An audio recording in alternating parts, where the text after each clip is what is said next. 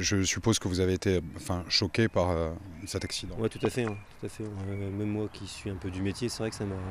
bah, surtout que la personne, euh, enfin les, les personnes, on les, on les a, on les a côtoyées en fait euh, le- la veille, quoi. Enfin le, le soir et le matin.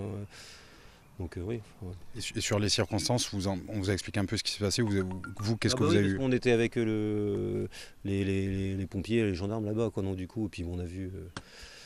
On a, vu, plusieurs corps remonter, bah, au moins deux corps remonter, plus un qui était avec son sac, là, euh, qui avait même du mal à remonter tellement il était démembré. Quoi. Donc, euh, il est descendu, parce qu'il y, en a qui- sont descendus pas mal avec le, torrent de boue. Là, donc, euh, il y, a a un autre là-bas qui a essayé de, sauver une, une jeune fille, il disait, là.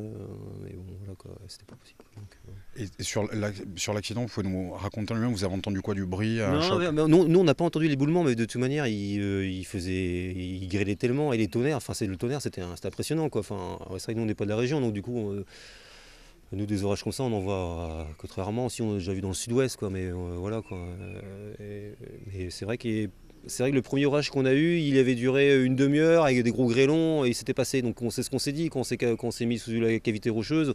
On s'est dit tiens on a peut-être pour une demi-heure, une heure et puis euh, après on repart quoi. Et, et finalement il a duré, euh, je me demande presque deux heures quand même quoi. Puis du coup on commençait à avoir froid, c'est pour ça qu'on a bougé. Autrement on, aurait peut-être, on serait peut-être resté dans notre coin en attendant vraiment le soleil quoi. Mais on tenait plus, on avait vraiment trop froid quoi. Donc il fallait qu'on bouge quoi. Vous vous sentez miraculé aujourd'hui? Ouais, un petit peu. Et là, maintenant, euh, bah, le GR20, bon, euh, je pense pas qu'on le refera et on, on, on finira pas, je pense. Quoi. Donc, du coup, euh, on va rentrer euh, tranquillement chez nous. euh, voilà. Non, ouais.